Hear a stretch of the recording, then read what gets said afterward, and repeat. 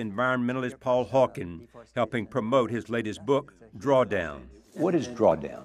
Drawdown is the first time when greenhouse gases peak and go down on a year-to-year basis. In When will other that happen? a- well, we don't know.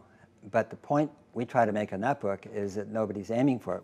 Hawken's book lists 100 solutions to reverse global warming, all based on existing science and ranked by cost and carbon impact. So this book inspired you to have goals and for everybody else to have goals. Yeah, I, I saw, oh my God, someone is actually addressing solutions. Someone is focusing on the solutions here instead of focusing on the problems, like, how can I help? How do I sign up to help? And that's how I, I that's not how I'm here. I've been trying to tell this story for a long time, and I feel as if I've failed. It's been 10 years, I think, since An Inconvenient Truth, Yes. the Al Gore film and book. Yeah.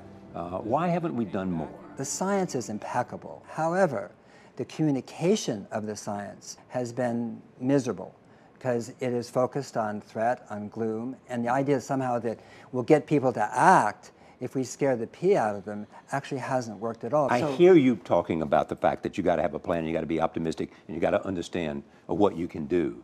Uh, but at the same time, I, I know lots of people who are saying that unless we do something immediately, it's going to be catastrophic. And I agree. And then what I'm saying is we're acting. This is in place. It is scaling. And if we continue to scale in a rigorous but reasonable way over 30 years, we can reverse global warming.